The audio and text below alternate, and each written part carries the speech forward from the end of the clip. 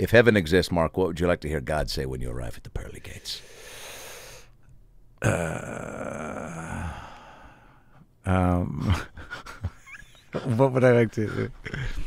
Uh, that's a good question, isn't it? Yeah, it's straight from Lipton's mouth. Is it? Yeah, It's so that's how he uh, closed it out. You know, uh, yeah. Al Pacino. What would you like to hear? Yeah. And, and you know, I don't remember what Al said, but I think it was something to the extent of just you know, you did a great job. Yeah, yeah. I don't know. I think I'd like him to say like, while you're up here, you don't have to hang out with everybody you know. Oh man.